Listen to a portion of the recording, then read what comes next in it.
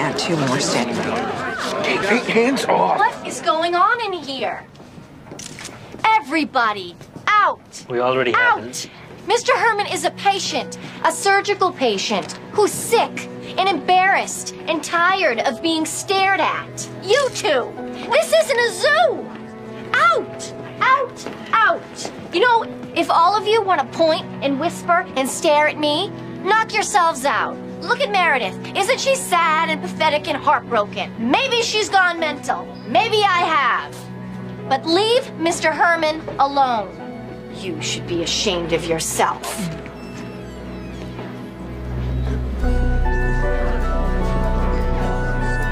And what are you looking at?